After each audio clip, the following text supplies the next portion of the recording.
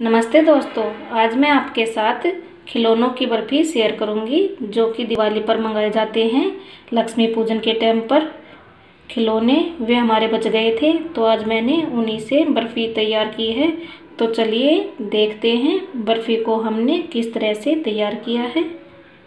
खिलौनों की बर्फ़ी बनाने के लिए मैंने ये खिलौने ले लिए हैं। अब मैं इनको हिमाम दस्ते में डालकर कूट लूँगी।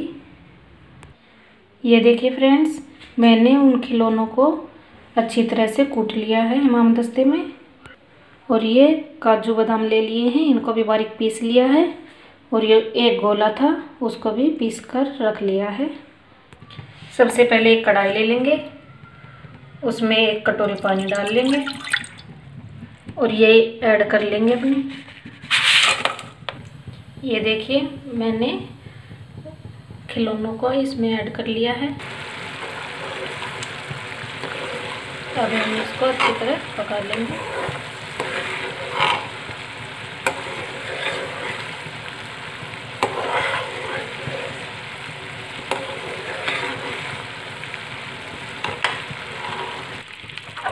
चाशनी हमारी गाढ़ी हो चुकी है। अब मैं इसमें गोला डाल लूँगी।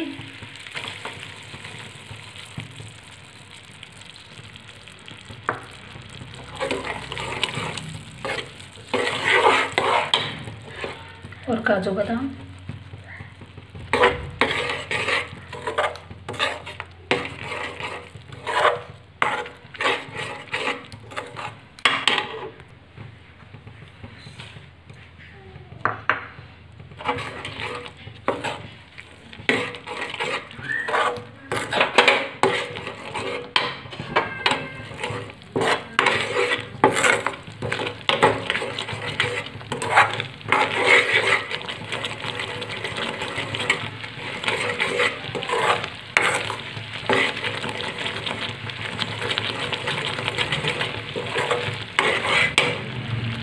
जब तक ये पकता है, मैं अपनी थाली को तैयार कर लूँगी। एक थाली ले ली है। अब मैं इसमें थोड़ा सा घी लगाकर इसे चिकना कर लूँगी। हमारा बैटर तैयार हो गया है। अब मैं इसे एक थाली के अंदर निकाल लूँगी। ये देखिए दोस्तों, मैंने अपने बैटर को थाली के अंदर ट्रांसफ़र कर लिया है। अब मैं इसे थोड़ी देर ठंडा करने के लिए रख दूँगी।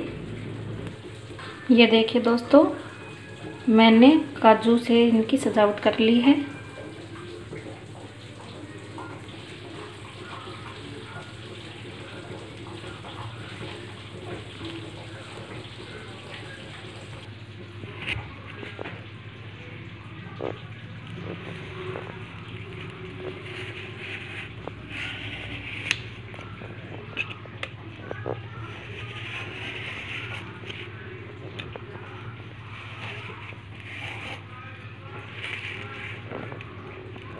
इसे हम किसी भी शेप में काट सकते हैं। अपनी पसंद की बर्फ़ी।